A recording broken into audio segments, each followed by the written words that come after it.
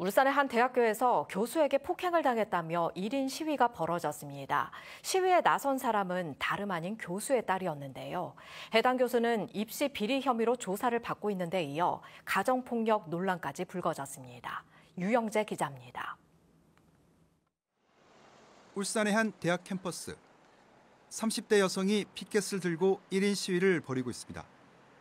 피켓에는 얼굴과 팔, 다리에 심한 멍이 든 사진 여러 장이 담겨 있습니다.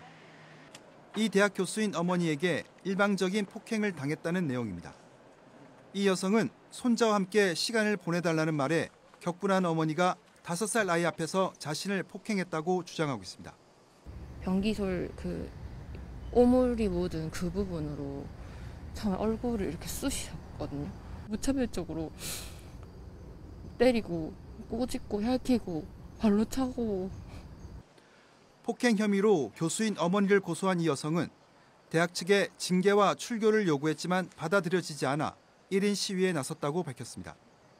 등록금을 냈는데 그 돈을 그냥 본인의 사치와 허영을 위해서 그렇게 함부로 막 쓰고 자기 이름을 알리는데 급급해서 그렇게 사시는 게 해당 교수는 자신의 딸을 폭행한 사실을 인정했습니다.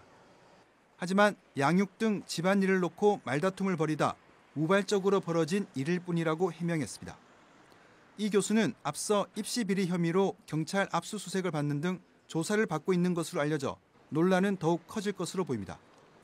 한편 학교 측은 입시 비리 문제는 수사 결과를 지켜보고 있으며 폭행 건은 사적인 문제로 학교가 개입할 수 없다고 밝혔습니다. MBC 뉴스 유영재입니다.